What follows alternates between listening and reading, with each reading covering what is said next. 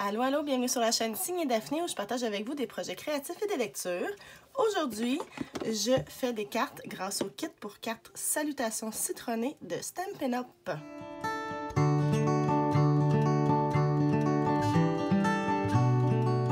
Bonjour tout le monde, j'espère que vous allez bien aujourd'hui. Merci d'être là, ça me fait plaisir de vous retrouver pour cette petite vidéo où je vais faire quelque chose de que j'ai jamais fait en fait, mais qui existe depuis un bon moment dans les produits Stampin' Up, c'est que je vais utiliser un kit de cartes, un kit complet qui s'appelle Salutations citronnées, qui va nous permettre de faire 15 cartes et c'est en fait tout qui est inclus dans la boîte. Donc pour les créatrices débutantes, dans le fond les gens qui n'ont jamais vraiment utilisé les produits Stampin' Up, qui veulent juste essayer, voir qu'est-ce que c'est, bien dans un kit, il y a tout tout, tout ce qu'il vous faut pour commencer, sauf de la colle. C'est la seule affaire à acheter. Donc, je vais vous montrer. En fait, il y a une euh, brochure qui s'appelle euh, la brochure des, créatrices euh, débutantes. Là-dedans, il y a des lots. On vous suggère exactement les produits à acheter pour pouvoir créer les modèles de cartes qui sont montrés. il y en a plusieurs collections. Il y a le petit Zev qui est toujours très populaire. Il y en a même pour en anglais et tout. Mais moi, j'ai choisi d'utiliser aujourd'hui le kit pour 4 tout compris Salutations citronnées. Il coûte 44 et nous permet de faire 15 cartes. Puis quand je dis tout compris, c'est vraiment tout compris. Là. Vous avez même le bloc transparent, le tampon encreur, les étampes, le papier, les enveloppes, euh, la ficelle, etc. La seule chose qu'il faut acheter à part, c'est vraiment de la colle liquide qui est aussi dans le catalogue puis qui coûte euh, genre 5 euh, ou 7 dollars. C'est pas une grosse, grosse dépense. Alors, si vous avez jamais fait de cartes Stampin' Up et que vous avez envie d'essayer, les kits comme ça sont vraiment, vraiment intéressants parce que pour un montant assez raisonnable, vous pouvez voir si vous aimez ça, commencer à vous équiper, puis après ça, peut-être comme moi, tomber dans l'espèce de trou noir, là, puis euh, genre sans fin, puis, puis devenir une folle de Stampin' Up, comme je le suis devenue au fil des ans. D'ailleurs, je voulais vous montrer dans le catalogue annuel que le kit Salutations citronnées est là, mais il y en a d'autres. Il y a le kit Les yeux au ciel qui euh, permet de faire des cartes avec euh, des montgolfières, il y en a un, les vases bohèmes, qui est plus dans les tons de bleu. On a aussi un bouquet magnifique ici. C'est toujours euh, des prix quand même assez raisonnables. Ici, on a des belles fleurs. C'est dans les tons de mauve, rose, lilas. Puis dans le catalogue saisonnier de août-décembre 2020, il y a aussi des kits. Vous avez un kit pour faire 30 étiquettes, si jamais vous voulez faire des étiquettes pour décorer vos cadeaux de Noël. Euh, ici, il y a une mini collection pour faire des cartes avec euh, bon, le plus beau des Noëls. L'an dernier, moi, j'ai déjà fait une vidéo où je faisais le kit du calendrier de l'Avent. Donc, il revient cette année. Il est magnifique. Donc, allez voir ça là, dans, dans mes anciennes vidéos. Je vais mettre le lien là, euh, juste ici. Puis aussi dans la barre d'infos, allez voir ça parce que c'est vraiment, vraiment chouette comme projet. Alors, ce sont des façons de faire des projets Stampin' Up qui sont moins, euh, comment on pourrait dire, overwhelming. là euh, c'est moins comme, my God, ça me prend donc bien du stock, puis je sais pas par où commencer. Parce que là-dedans, vous avez tout, puis il y a même un guide qui vous indique où mettre quoi, où coller quoi. Fait qu'on va tout regarder ça ensemble. Mais là, la plus belle chose que je veux vous dire, c'est que je vais mettre dans la barre d'infos toutes les informations pour vous procurer les produits dont on va parler aujourd'hui et nouvelle extraordinaire, Stampin' Up en français a maintenant une boutique en ligne au Québec. Alors, je vous mets les liens. Si vous voulez aller faire des achats en ligne, c'est possible. Puis, euh, vous allez pouvoir, dans le fond, euh, fouiller le site, voir s'il y a d'autres choses qui vous intéressent. Mais tout ça est dans la barre d'infos, ainsi que toutes les informations pour venir me rejoindre sur les réseaux sociaux. Et j'en profite pour vous demander de vous abonner si ce n'est pas encore fait. Donc, on se lance. Je vais commencer par l'ouvrir. Ça fait comme un genre de mini unboxing en même temps.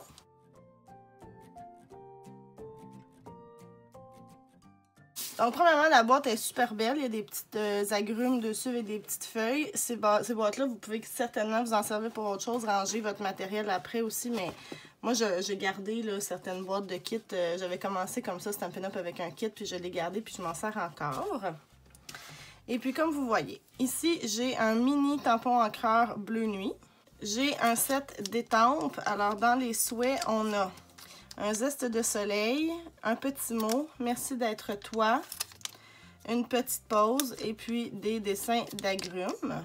Ici, j'ai vraiment l'ensemble. Donc, on ouvre aussi. Alors ici, on a une petite ficelle et des petites euh, fleurs euh, en plastique qui vont venir être des éléments de décoration, j'imagine. Ici, on a des Stamping Dimensional. Ce sont des points de colle trois dimensions en mousse pour pouvoir mettre un peu de, de, de trois dimensions là, dans nos projets, dans nos cartes. Ça rend les cartes encore plus intéressantes. Moi, j'adore ces points-là, mais j'utilise souvent les mini parce que je colle souvent des petites affaires. On a un bloc transparent standard. Ça, c'est un bloc, je pense, C. C'est euh, un de ceux qui est le plus utilisé. Après ça, vous le gardez, puis vous allez pouvoir l'utiliser encore plein, plein de fois. On a une quinzaine d'enveloppes. Une pour chaque carte. Vous pouvez voir, sont cute en dedans, sont toutes euh, décorées. Ici, on a nos bases de cartes. Alors, on a trois bases de cartes pareilles pour chacune. Donc, on en a des, des roses, des corails. En fait, je pense que ça doit être corail calypso, cette couleur-là. Hop, j'ai trouvé quelque chose d'autre, je vous le montre après. Euh, ça, je pense que c'est juste déjà de la couleur. Euh, d'autres petits éléments que je vais vous montrer après. Vert. Oups. Donc, trois de chaque, des petits éléments. Puis, on a des bases de cartes qui sont euh, bleu nuit avec des petits citrons. Je vais vous montrer vite vite les éléments, mais ça, ça va comme être des étiquettes. On va venir coller dessus. Ils sont tous déjà pré-découpés comme vous pouvez voir.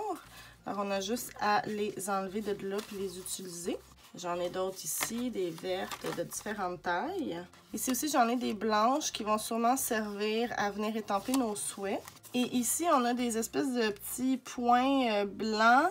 Euh, je pense que c'est pour venir euh, décorer. Il y a de la colle en dessous, puis on va pouvoir s'en servir comme élément de décoration. Puis là, la partie la plus intéressante pour quelqu'un qui a jamais fait de Stampin' Up, c'est qu'on a notre mode d'emploi. Donc ici, il vous donne les cinq modèles de cartes qui vont être faites avec l'ensemble. Donc, il va avoir trois cartes comme la verte, trois cartes comme la jaune, trois cartes pour avec les petits citrons, trois cartes pour la corail et trois cartes pour euh, cette autre verte-là. Et à l'intérieur, vous avez vraiment quoi faire, quoi mettre pour chaque modèle. Donc, on vous met les trois modèles, puis on vous indique, là, vous voyez, il y a des petits chiffres qui vont référer à nos instructions.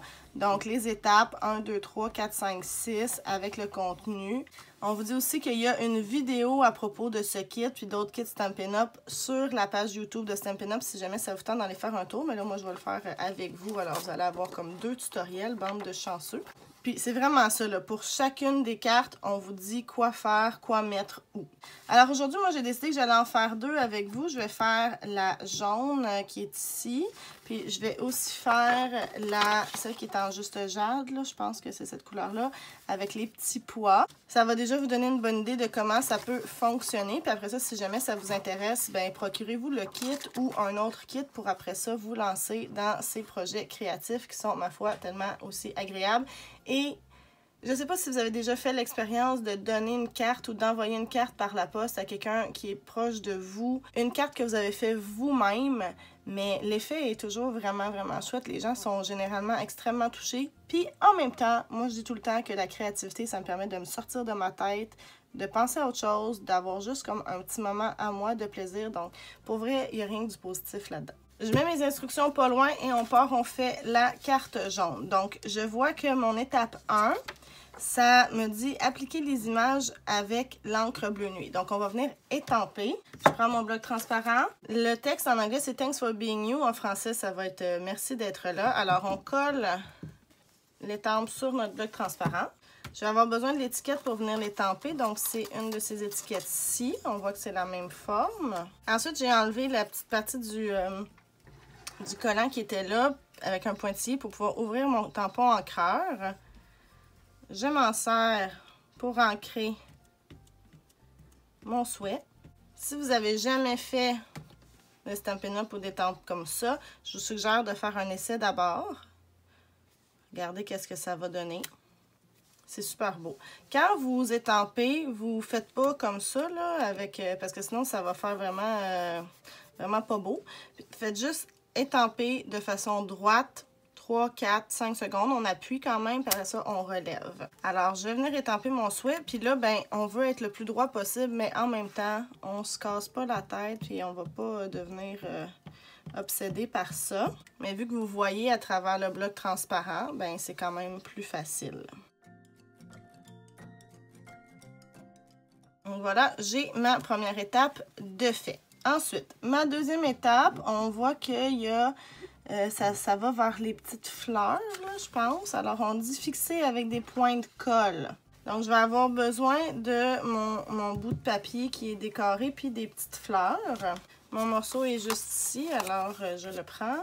Puis là, je pense que les petites fleurs qui sont ici, je vais les mettre après, mais je vais quand même venir mettre la première. Ah! C'est ça. J'ai dit n'importe quoi tantôt. J'ai dit que ça, c'était des décorations. Mais en fait, ce sont des points de colle. J'en ai jamais utilisé, c'est pour ça. Mon Dieu, mais moi, je fais encore des découvertes maintenant. Alors, je vais venir mettre mon petit point de colle ici. Puis là, si je comprends bien, le petit machin blanc, il s'enlève. Ouais, ça, ça s'enlève. Vous ne voyez pas super bien parce que c'est transparent. Mais il y a de la colle qui est restée, alors je peux venir coller ma petite fleur. Deuxième étape de fête. Troisième étape, on me dit de venir installer mon souhait sur mon papier. Je vais fixer bien ça. Oui, fixer avec des points de mousse Stamping Dimensionals. Donc, il faut que je vienne mettre des petits points dimensionnels sur mon souhait.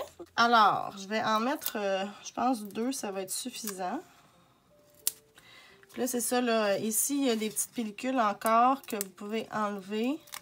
Ben, qu'il faut enlever, en fait, pour pouvoir coller sur notre papier. Donc, euh, moi, je vais le mettre à peu près comme ça. Puis, tu sais, vous, pouvez faire des variantes aussi. C'est pas parce que dans le kit, il montre que c'est comme ça qu'il faut la faire qu'il faut absolument faire pareil. Vous pouvez laisser aller votre créativité. Là, je vais suivre vraiment les indications pour euh, cette vidéo. OK, donc ça, c'est fait. Ensuite, l'étape, euh, ça, c'est fait. Il faut que je vienne mettre une, ficelle ici. Alors, on se prend un bout de ficelle. C'est sûr que ça va vous prendre des ciseaux, mais vous pouvez prendre n'importe quel, quel ciseau, dans le fond. Puis, on va venir le mettre derrière notre bout de papier. Puis, on va venir faire un nœud puis une boucle. Là, vous faites de votre mieux, mais moi, j'ai de la misère avec ça encore.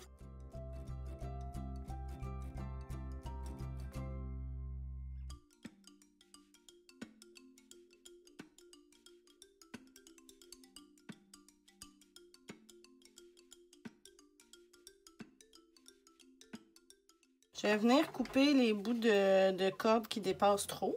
Puis ensuite, ben, il va nous rester à venir euh, coller notre bout de papier sur notre base de carte. Vous allez voir qu'il y a déjà une ligne qui a été faite. D'habitude, elle doit se faire avec une machine puis un plioir en os. Mais euh, bon, euh, moi, dans ce kit-là, comme je vous dis, tout est là pour vous. Là. Vous n'avez rien besoin de faire de plus. Alors, vous avez juste besoin de plier. Et ensuite, de venir coller avec des points mousse encore dimensionnels.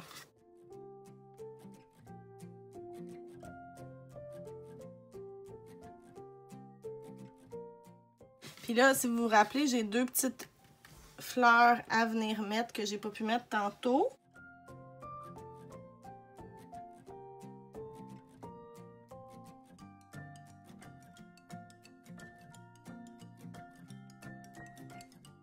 Et voilà. Donc, on a une première carte de prête. Donc, l'autre que j'ai dit que j'allais faire, c'est celle-ci. Donc, encore une fois, je vais regarder les étapes. Ils veulent que j'étampe d'abord mon souhait sur euh, mon, mon étiquette. Je prends donc une étiquette ronde. Pour nettoyer vos étampes, vous pouvez prendre seulement une, guenille en tissu. Euh, vous pouvez aussi utiliser le produit que Stampin' Up vend, mais moi, je ne l'ai même pas. Mauvaise démonstratrice. Mais bon, vous pouvez juste enlever l'encre. Vous allez pouvoir remettre l'étampe avec ses amis. là, on va prendre juste une note. Juste une petite note. Alors, on va venir le mettre sur le bloc transparent. Et on fait la même chose que tantôt. Je vais faire un test, voir de quoi ça a l'air. J'en ai-tu mis trop partout? Regardez, une chance que j'ai fait un test, je me rends compte que j'en avais pas mis assez. Alors, je vais en mettre un petit peu plus maintenant.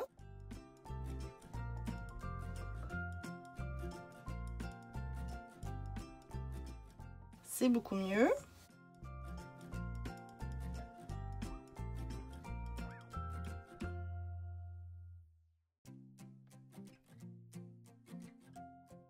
voilà. Ensuite, je vais venir prendre euh, le petit euh, papier qu'il faut mettre dans le fond. Mais je ne sais pas si vous voyez, mais dans notre exemple, il y a de l'encre par-dessus. Alors, on va voir qu'on vienne faire ça. Ça va quand même euh, être un petit peu plus d'ouvrage. Je vais commencer par les petits citrons. J'ai mis mon petit citron là-dessus. J'ouvre mon tampon encreur. Ah, et puis là, c'est normal hein, si vous en mettez plein sur les doigts c'est la vie de, la créativité. Donc, j'ancre mon petit citron. Je viens étamper comme ça. Oh, c'est cute!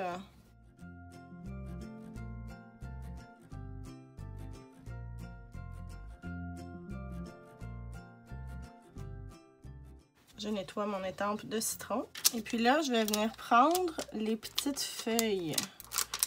Donc, il y a des petites feuilles qu'on doit étamper, faire la même chose. Donc, euh, je continue.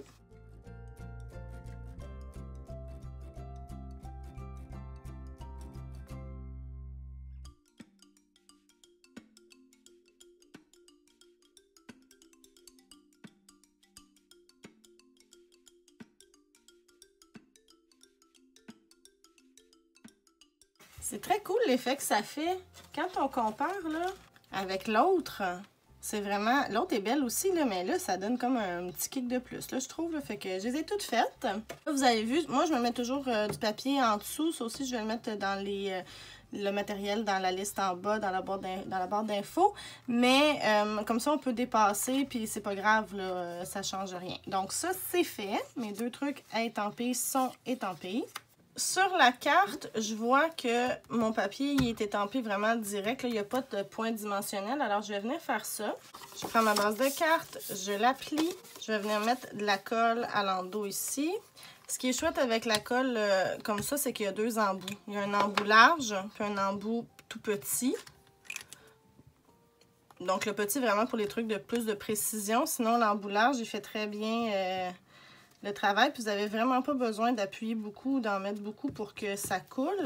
Et c'est super solide après. Donc, je vais venir mettre ça.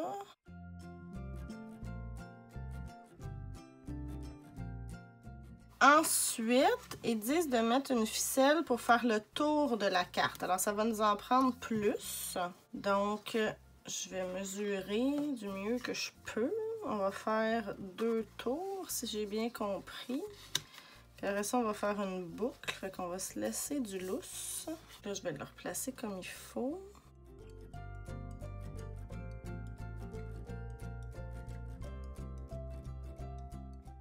Comme tantôt, je vais venir faire un nœud. J'essaie de garder la tension pour, euh, pour pas après ça que ça flotte sur la carte.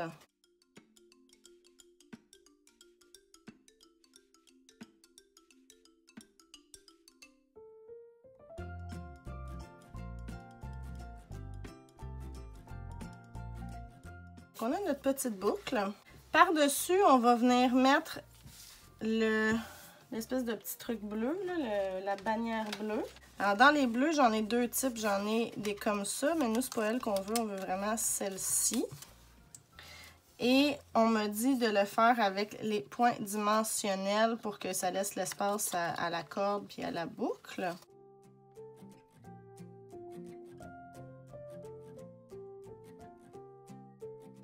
OK, c'est pas pire comme ça. Mon petit mot, il est collé directement sur ma bannière. Ah oui, j'aurais dû le coller avant. si vous faites le kit, collez votre petit mot sur la bannière avant, mais c'est pas très grave. Je vais mettre euh, une ligne de colle euh, là-dessus. Là, dessus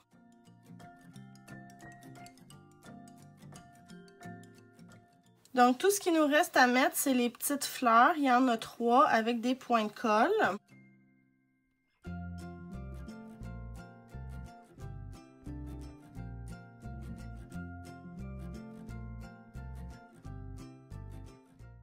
Et voilà, on a une deuxième carte de terminée qui est très jolie. Puis à l'intérieur, vous pouvez tout de suite écrire. Oui, il y a la ficelle, mais c'est pas grave, ça fait cute. Vous allez pouvoir donc en faire trois, ben en fait deux autres du même modèle. Puis il y a les trois autres modèles aussi que je ne ferai pas aujourd'hui. Mais donc, on a déjà deux super belles cartes. Puis ce qui est le fun, c'est que ça prend pas tant de temps à faire comme vous avez pu voir. Puis vous pouvez soit vous asseoir pour toutes les faire d'une shot ou vous dire, ben quand j'en ai besoin, j'en fais une. Puis après ça, je la porte euh, ou je la poste à la personne en question et euh, comme vous voulez dans le fond. Alors j'espère que vous avez aimé cette petite vidéo. Si jamais euh, vous voulez que je refasse des kits ou des trucs comme ça, venez me dire ça dans les commentaires en bas. N'oubliez pas que toutes les informations pour vous procurer les produits dont j'ai parlé aujourd'hui se retrouvent dans la barre d'infos juste en bas, ainsi que toutes les informations pour venir me rejoindre sur les réseaux sociaux. N'hésitez pas à vous abonner si vous aimez le contenu que je vous propose. Et je vous dis à bientôt. Bye bye!